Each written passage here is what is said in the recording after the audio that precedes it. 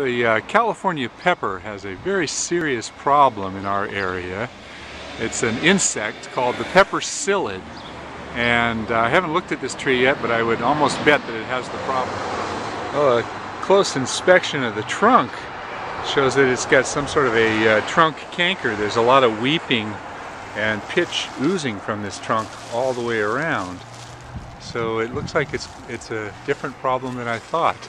I'm looking at the foliage and the leaves don't look too bad.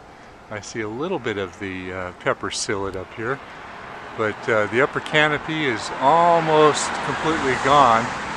Um, I would say we've got a trunk canker that uh, I'm not familiar with. There's a lot of cracking and a lot of oozing from the bark all the way up. Uh, I know there's a lot of trunk cankers in many of the trees that uh, I never saw 15, 20 years ago. So this one's a mystery to me. I keep discovering all these uniquely different problems with trees. Um, I've been in business for 38 years and I can say that I have noticed um, quite a few changes in the last decade, maybe the last 15 years started off with an increase in the number of insects. Um, the uh, Monterey pine started declining. There was so many insects coming in.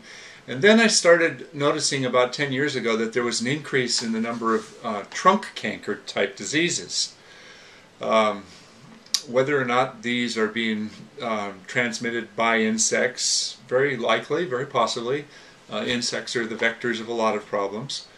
Uh, but I've, I've noticed that many trees that didn't seem to have many problems before are now succumbing to these trunk cankers.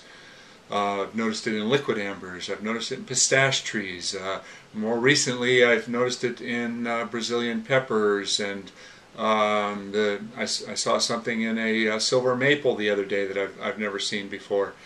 And it's more and more and more uh, it's, you know, obviously the oak trees, many of the live oak trees and the black oaks and um, you know, they're all suffering from the Phytophthora ramorum, the, the sudden oak death disease.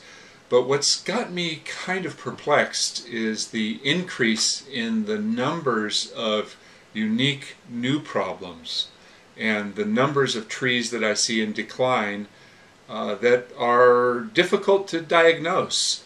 I'm seeing lots of um, lots of fungus problems, lots of uh, um, new insect problems, lots of changes.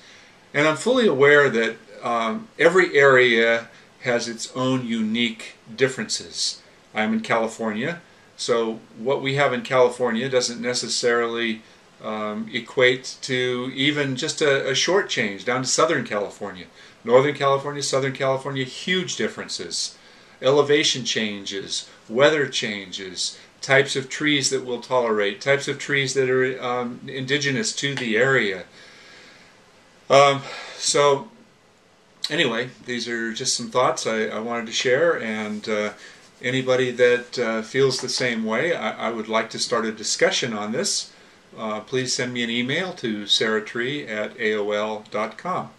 Thanks for uh, taking the time to watch this brief presentation.